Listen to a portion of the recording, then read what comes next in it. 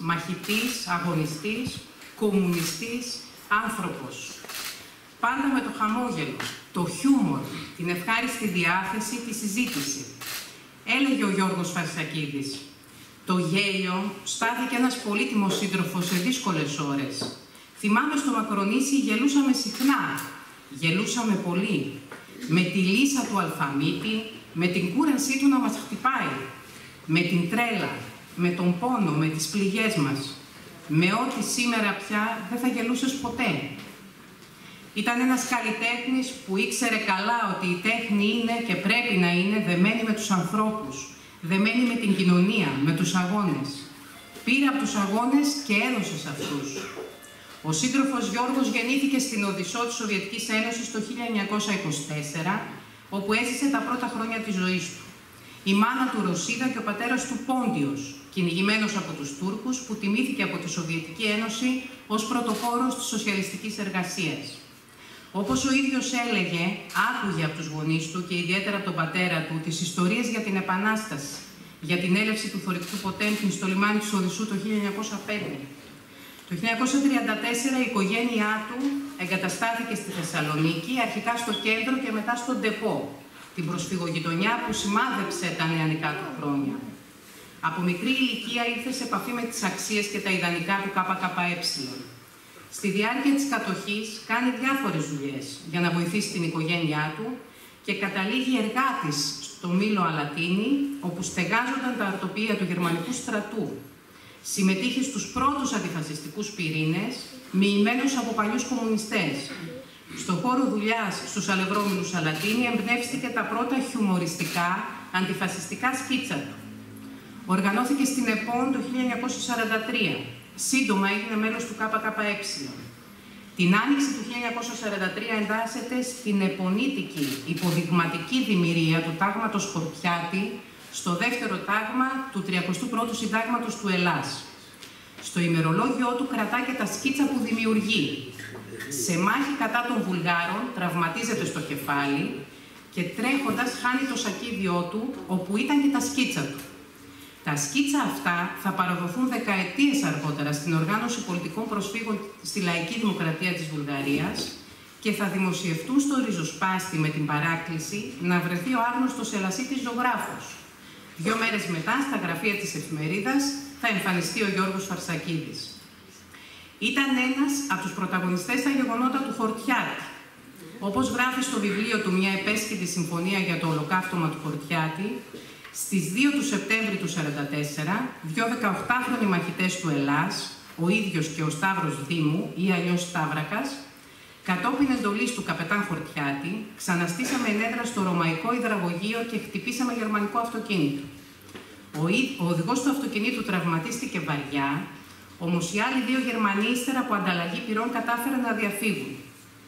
Εμείς στείλαμε τον τραυματία για περίθαλψη και κάψαμε το αυτοκίνητο. Το χτύπημα του αναγνωριστικού αυτοκινήτου αποδείχτηκε σωτήριο για εκατοντάδες κατοίκους του χωριού, οι οποίοι υπακούοντας τις προτροπές της οργάνωσης κατάφεραν να διαφύγουν. Τα πάνω όμως από 145 άτομα, κυρίως γυναικόπαιδα, δίνοντας πίστη στα λόγια του ιερέα και του προέδρου του χωριού που διατηρούσαν καλές σχέσεις με τους Γερμανούς, σφαγιάστηκαν ή κάηκαν ζωντανά. Η ενέργεια είχε στηθεί γιατί, όπως γράφει ο Γιώργος Φαρσακίδης, υπήρχε πληροφορία ότι πρόκειται να κινηθεί δύναμη ταγματασφαλιτών με Γερμανούς προς το Χορτιάτι, με κατεύθυνση προς το Αδραμέρι και μια φάλαγγα από Σέρες προς το Αδραμέρι, με στόχο την εκαθάριση της περιοχής. Τον Σεπτέμβριο του 1944, σε μάχη εναντίον γερμανικού στρατοπέδου, κάπου μεταξύ των χωριών Κρίνης και Πετραλώνων στη Χαλκιδική, ο Πλοπολιβόλο τσακίζει και τα δύο χέρια του σύντροφου Γιώργη. Μετά τη Βάλκιζα, μαζί με χιλιάδες συντρόφους του, υπέστη τις διώξεις και τις βιότητες από το αστικό κράτος και το παρακράτος. Τον Σεπτέμβριο του 1946 εντάχθηκε στην στενή αυτοάμυνα και συμμετείχε σε ένοπλες ενέργειες κατά των αστικών δυνάμεων καταστολής. Συνελήφθη στα τέλη Δεκεμβρίου και βασανίστηκε επί εβδομάδες στην ασφάλεια. Δεν μίλησε ούτε όταν τον οδήγησαν στον τέταρτο όροφο για να τον εκπαραθυρώσουν. Για το πώς άντεξε τα, τα βασανιστήρια, απαντούσε με μια φράση του πατέρα του.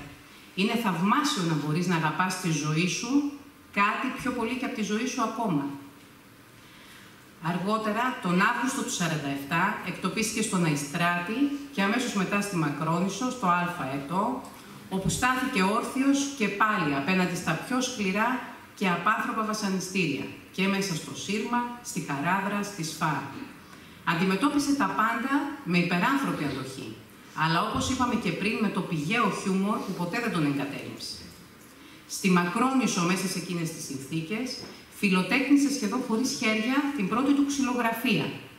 Εκεί στο κάτεργο εξόντωσης άνοιξε ένας νέος δρόμος, αυτός του λαϊκού, του επαναστάτη καλλιτέχνη, που με τα τσακισμένα χέρια, μαζί με, τα, με λεπτά προσωπικά συναισθήματα και ευαισθησίες, έμελε να εκφράσει με βάθος και ταλέντο την ψυχή και την πνοή των λαϊκών αγώνων, των αγώνων του ΚΚΕ. Όπως και άλλοι κρατούμενοι, το πραγματικό σχολείο της οικαστικής δημιουργίας στάθηκε η κοινότητα των εξορίστων, όπου ο καθένας συνεισέφερε με όσα είχε και κατήχε.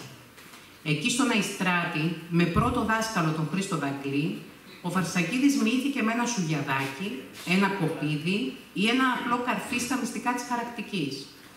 Εκτός από τα προσωπικά δημιουργήματα, φιλοτέχνησε σκηνικά για θεατρικές παραστάσεις που έστειναν οι εξόριστοι, με τη βοήθεια των κομμουνιστών διανοούμενων και καλλιτεχνών, του Γιάννη, του Γιάννη Ρίτσου, του Μάνου Κατράκη, του Καρούσου και άλλων. Το 1956, ο Γιώργος Φαρσακίδης ως αδιούπος εξόριστος έλαβε εντολή από το πολιτικό γραφείο της Κεντρικής Επιτροπής να ανασυγκροτήσει και να καθοδηγήσει την παράνομη κομματική οργάνωση της Θεσσαλονίκης, καθήκον στο οποίο δόθηκε με ζήλο. Αν και τα αποτελέσματα ήταν ιδιαίτερα ενθαρρυντικά, αναγκάστηκε τότε να πειθαρχήσει στις αποφάσεις της 8ης Ολομέλειας του 1958 για την διάλυση των κομματικών οργανώσεων του κόμματος. Σύντομα η άδεια ανακλήθηκε και παρέμεινε στον Αϊστράτο στο 1961. Ο αγώνας συνεχίστηκε μέσα από τις γραμμές της ΕΔΑ. Το 1967 με 1971 εκτοπίστηκε και πάλι στη, στη Γιάρο και στο Λακί της Λέρου.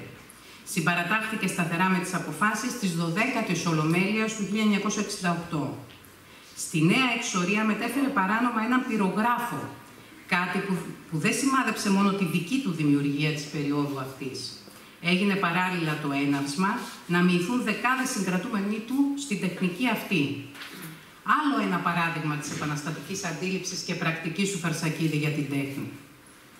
Μετά τη Χούντα, ο Γιώργος συνέχισε μέσα από τις γραμμές του ΚΚΕ τη στρατευμένη πάλι ιδιαίτερα ανάμεσα στους καλλιτέχνες. Το πρώτο του λεύκομα που είχε εκδοθεί το 1964 ήταν εμπνευσμένο από τη ζωή στο κάτεργο της Μακρονήσου. Έξω από τα κάτεργα, πάντα συνειδητά στρατευμένος κομμουνιστής, ο καλλιτέχνης Φαρσακίδης ήταν πλέον ασυγκράτητος. Το βαθύ αποτύπωμα της ζωής, των αγώνων και των βασανιστήριων στην ευαίσθητη και λεπτή φύση του βρήκε δημιουργική έκφραση στο εικαστικό και συγγραφικό του έργο. Ο Γιώργος πραγματοποίησε δεκάδες εκθέσεις στην Ελλάδα και στο εξωτερικό. Πολυγραφότατος και πολυδιαβασμένος, εξέδωσε πάνω από 30 βιβλία, θα ακούσουμε μετά και λεπτομέρειες, με εικαστικές δημιουργίες ή πεζογραφήματα. Έγραψε παράλληλα σε εφημερίδες και περιοδικά. Το έργο του είναι εμπνευσμένο από την αντίσταση, τους λαϊκούς αγώνες, την ταξική πάλη, από τη ζωή των φυλακισμένων, αλλά και από την καθημερινότητα των λαϊκών στρωμάτων. Με την αμεσότητα, την απλότητα και το ανθρώπινο βάθος, άγγιξε όχι μόνο τις γενιές της αντίστασης και του Δημοκρατικού Στρατού Ελλάδας, των φυλακών και των βασανιστήριων, αλλά και κάθε ευαίσθητο προοδευτικό άνθρωπο. Γνώρισε καθολική αποδοχή, αλλά και την προσοχή ειδικών. Έχουν δημοσιευτεί σχετικά εξειδικευμένες εργασίες και έχουν πραγματοποιηθεί δημόσιες παρουσιάσεις από ειδικούς. Το ΚΚΕ και το Ελλαϊκό Εργατικό Κίνημα τίμησαν επανειλημμένα τον σύντροφο Γιώργο. Η Εταιρεία Ελλήνων Λογοτεχνών βράβευσε το 1984 το βιβλίο του «Η πρώτη πατρίδα». Μέσα στις διεθνείς τους διακρίσεις ξεχωρίζει η απονομή του ανώτατου χρυσού μεταλλίου της Σοβιετικής Επιτροπής Ειρήνης για τα 30 χρόνια από την αντιφασιστική νίκη. Ο σύντροφος Γιώργος υπήρξε μέλος της κομματικής οργάνωσης των οικαστικών, ήταν μαζί με άλλους οικαστικούς αγωνιστές που είχαν βγει από τα δύσκολα και ματωμένα χρόνια, ζωντανό παράδειγμα ιστορίας, πάντα σεμνός και λιγομίλητος.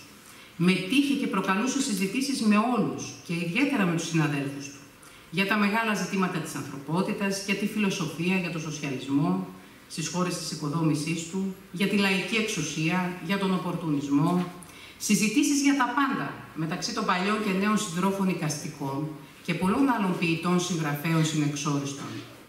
Πολλές φορές καλούσε στο σπίτι του φίλους, συναδέρφους, στο, στο δικό του χώρο, εντελώς λιτό, κοντά στην πλατεία Αττικής. Στον χώρο αυτό είχε χιλιάδες ρηταράκια, που μέσα είχε το πολύτιμο υλικό που είχε σώσει από την εξορία. Σκιτσάκια σε τσιγαρόχαρτα, ζελατίνες χαραγμένες, φωτογραφίες και σημειώματα, χιλιάδες μικροσκοπικά αντικείμενα που συγκροτούσαν ένα πολύτιμο αρχείο, το οποίο ταξινομούσε διαρκώς ως χρέος προς το ΚΚΕ και την ιστορία και φυσικά το άφησε και το παρέδωσε στο, στο κόμμα του. Συντρόφισσες και σύντροφοι, ο Γιώργος Αρσακίδης είναι και αυτός μαζί με τον Ρίτσο, τον Κατράκη, τον Καζάκο, τον Τάσο και τόσους άλλους από τους λαϊκούς αγωνιστές καλλιτέχνες που δείχνουν πώς, πώς πραγματικά πρέπει να δράει ένας καλλιτέχνης. Το έργο του δέθηκε με τους αγώνες του λαού, δέθηκε με τον ίδιο τον λαό. Βρήκε σε αυτούς τους αγώνες την πηγή της έμπνευσης, συνέβαλε με τη σειρά τους αυτούς. Δημιούργησε μέσα στην κοινωνία, μαζί με την κοινωνία και όχι απομονωμένος από αυτήν. Αυτός είναι και ο δρόμος που πρέπει και σήμερα οι άνθρωποι των τεχνών και του λόγου να ακολουθήσουν. Να διαλέξουν ποιον θα στηρίξουν μέσα από το έργο και τη δημιουργία τους. Το παράδειγμα του σύντροφού μας φωτίζει τον δρόμο για όλους εμάς σήμερα. Πώς δηλαδή, μέσα από τις δυσκολίες της ζωής, τα όποια προσωπικά προβλήματα, συνεχίζουμε στον δρόμο του συλλογικού αγώνα, ταγμένοι στην επαναστατική προοπτική. Κατανοούμε πως μόνο μέσα από αυτόν μπορούμε να ζήσουμε τη ζωή που έχουμε ανάγκη. Τα τσακισμένα χέρια του σύντροφου Φαρσακίδη δεν τον σταμάτησαν λεπτό από το να γράφει, να ζωγραφίζει, να δημιουργεί, να συμβάλλει με όλες του τις δυνάμεις στο δυνάμωμα του εργατικού λαϊκού κινήματος. Το παράδειγμά του είναι φάρος για μας που σε διαφορετικές συνθήκες, ορισμένες φορές μπορεί και πιο έντονες, καλούμαστε να παλέψουμε ενάντια στην εκμετάλλευση μέσα στους χώρους δουλειάς, την επιθετικότητα της εργοδοσίας, της κάθε αστικής κυβέρνησης και της Ευρωπαϊκής Ένωσης, ενάντια στα δικαιώματά μας, τον αυταρχισμό και τη βία, με την οποία απαντάνε μέσα και έξω από τους χώρους δουλειάς. Αγαπητοί φίλοι και σύντροφοι, οι στιγμές που ζούμε είναι κρίσιμες. Ο υπεριαλιστικός πόλεμος στην Ουκρανία φουντώνει. Η προσάρτηση των κατεκτημένων εδαφών στη Ρωσική Ομοσπονδία από τη μια μεριά και η πολύμορφη στήριξη ακόμη και με βαρύ οπλισμό του Ευρωατλαντικού στρατοπέδου στην αντιδραστική κυβέρνηση Ζελένσκι, απ' την άλλη, τροφοδοτούν τον φαύλο κύκλο του υπεριαλιστικού ανταγωνισμού και πολέμου. Οι απειλές για χρήση πυρηνικών όπλων βρίσκονται στην καθημερινή ατζέντα της συζήτησης. Σε αυτές τις συνθήκες γίνεται επιτακτικό το αίτημα για απεμπλοκή της Ελλάδας από τον πόλεμο, για να σταματήσει η ελληνική επικράτεια και οι υποδομές της χώρας να μετατρέπονται σε ορμητήρια πολέμου. Την ίδια στιγμή, νέες αιστείες αντίστασης και υπεριαλιστικών ανταγωνισμών ανάμεσα στο Ευρωατλαντικό και το υποδιαμόρφωση Ευρασιατικό Κέντρο προστίθεται. Αναπόσπαστο κομμάτι αυτών των ανταγωνισμών είναι και η επιδείνωση στις ελληνοτουρκικές σχέσεις, με την κλιμάκωση της επιθετικότητας της, της τουρκικής άρχουσας τάξης. Το πρόσφατο παράδειγμα με την άδεια πώλησης των F-16 από την Αμερικανική Γερουσία αδειάζει την κυβέρνηση και τα κόμματα που προσπαθούν να μας πείσουν ότι το ΝΑΤΟ, οι Ηνωμένες Πολιτείες και η Ευρωπαϊκή Ένωση είναι ασπίδα απέναντι στην τουρκική επιθετικότητα.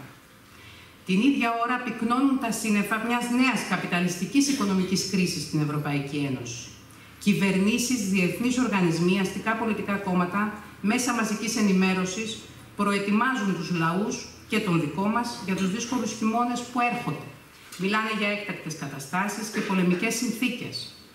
Όλα αυτά όμως δεν είναι φυσικά φαινόμενα, ούτε αποτέλεσμα μιας κακής συγκυρίας όπως θέλουν να τα παρουσιάσουν δεν αποτελούν έτσι απλά μια απόκληση από την κανονικότητα στην οποία κάποια στιγμή θα επιστρέψουμε, όπως λένε. Πίσω από κάθε λαϊκό πρόβλημα, από τη φτώχεια, την ακρίβεια, τον πόλεμο, μέχρι και την καταστολή και τις υποκλοπές, ο ένοχος και οι αιτίες είναι οι ίδιες και έχουν ονοματεπώνυμο. Είναι οι πολιτικοί που ακολουθούν όλες οι αστικές κυβερνήσεις, που θυσιάζει τις λαϊκές ανάγκες στο βωμό του καπιταλιστικού κέρδους. Άλλωστε η βαριχημονιά δεν τους αφορά όλους. Την ίδια ώρα που τα λαϊκά νοικοκυριά δεν μπορούμε να βγάλουμε το μήνα, τα κέρδη των επιχειρηματικών ομίλων στην ενέργεια, τις μεταφορές, στα τρόφιμα, τα φάρμακα, τον τουρισμό και αλλού, σπάνε το ένα ρεκόρ μετά το άλλο. Είναι τα τεράστια διέξοδα, οι αντιθέσεις και οι εξεπέραστες αντιφάσεις του καπιταλιστικού δρόμου ανάπτυξης, που μόνο σκοπό έχει το κέρδος.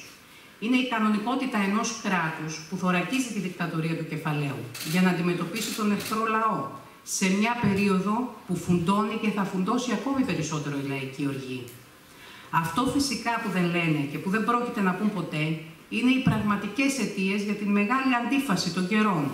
Ότι στις σύγχρονες καπιταλιστικές κοινωνίες, παρά τα τεράστια μεγάλα επιστημονικά τεχνολογικά επιτεύγματα, παρά τον διαρκώς αυξανόμενο πλούτο, οι λαοί καταδικάζονται να, να, να ζουν σε συνθήκες προηγούμενων αιώνων.